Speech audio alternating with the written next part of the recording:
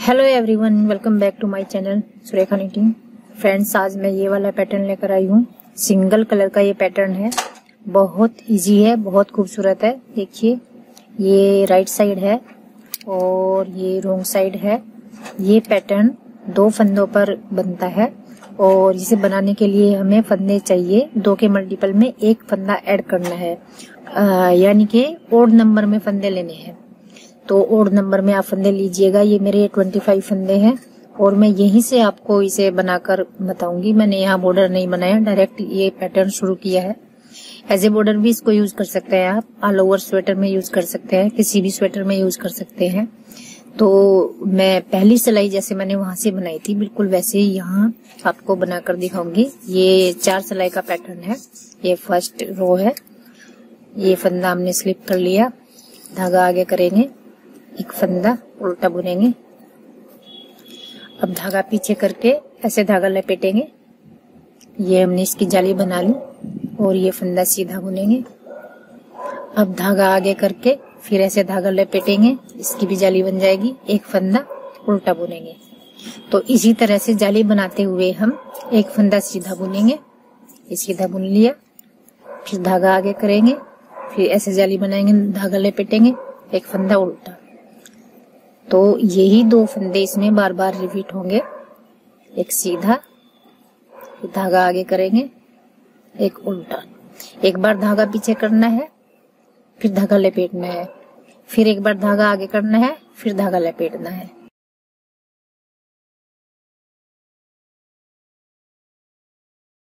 तो मैं ये सिलाई कंप्लीट कर लेती हूँ, फिर आपको बताती हूँ। ये देखिए, हम इस सिलाई के एंड में पहुँच गए हैं। ये लास्ट रिपीट है। धागा अपनी तरफ़ करेंगे ऐसे लपेटेंगे और ये लास्ट के दो फंदे उल्टे बुनेंगे। ये हमारी पहली सिलाई थी। अब दूसरी सिलाई रोंग साइड से बुनेंगे। ये फंदा स्लिप कर लेंगे, ये फंदा सीधा बुनेंगे। अब धागा अपनी तरफ़ करेंगे। देखिए, एक जाली इधर है, एक जाली उधर है और ये बीच वाला फंदा हमारा सीधा था। तो इन तीनों को हम ले लेंगे और तीनों में से फिर तीन ही फंदे बनाएँगे इस तरह से। ये दो हो गए और फिर एक और बनाएँगे। ये तीन हो गए। फिर धागा पीछे करेंगे। जो फंदा हमने उधर से उल्टा बुना था, वो इधर से अब सीधा बुनेंगे। फिर धागा अपनी तरफ़ करेंगे। एक जाली इधर है, एक उधर है और एक ही बीच वाला फंदा है। तो ये तीनों फंदे एक साथ ऐसे लेंगे और इनमें से तीन फंदे बनाएँगे। एक, दो और ये तीन। धागा पीछे, ये फंदा सीधा बुनेंगे। फिर धागा आगे, फिर ये तीन फंदे। इन तीन फंदों को एक साथ बुनेंगे, तीन फंदे बनाएँगे इसमें से। एक और ये दो, ये तीन। तो इस तरह से ये सिलाई हमारी कंप्लीट होगी दूसरी। एक फंदा सीधा, धागा आगे, फिर ये तीन फंदे, दो जाली वाले हैं और एक हमारा सीधे वाला फंदा है। इन तीनों फंदों को एक साथ बुनेंगे और इनमें से तीन फंदे बनाएँगे। इस तरह से हमारी ये सिलाई कंप्लीट हो जाती है। मैं ये पूरी कर लेती हूँ। ये देखिए फ्रेंड्स, दूसरी सिलाई है ये, इसका ये लास्ट रिपीट है।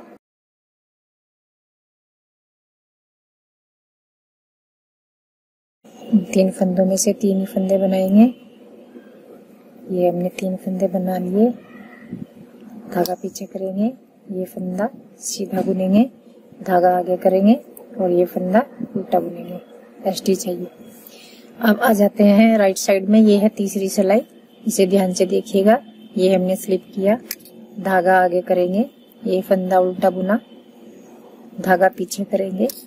अब देखिए ये तीन फंदे हैं, क्योंकि हमने एक फंदे के तीन फंदे बनाए हुए हैं ये।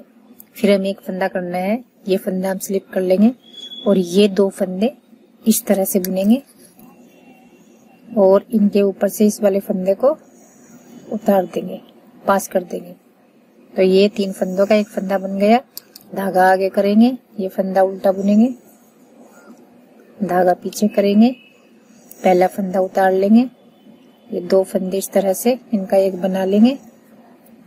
और ये वाला फंदा इनके ऊपर से क्रॉस कर देंगे।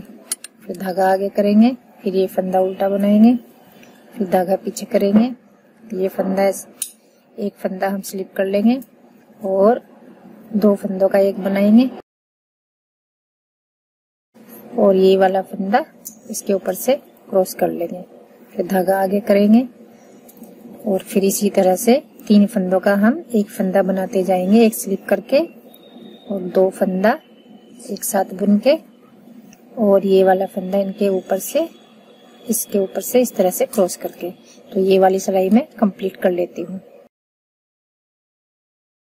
ये देखिए फ्रेंड्स, हमने तीन सिलाई कंप्लीट कर ली है। अब आ जाते हैं हम रोंग साइड पर। ये है हमारी लास्ट सिलाई, चौथी सिलाई।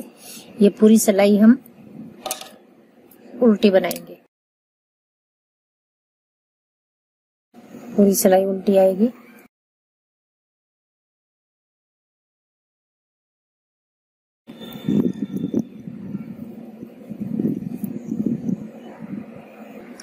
तो ये देखिए फ्रेंड्स हमारी चार सिलाई कंप्लीट हुई और एक पैटर्न हमारा कंप्लीट हुआ यहाँ से यहाँ तक।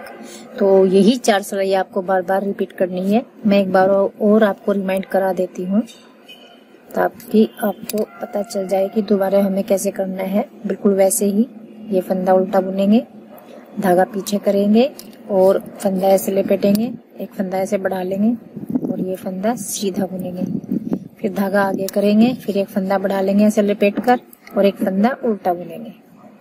तो हर फंदे के साथ हम ऐसे जाली बनाते जाते हैं और एक फंदा सीधा बुनते हैं और एक फंदा उल्टा बुनते हैं। तो ऐसे हमारी शुरुआत होती है।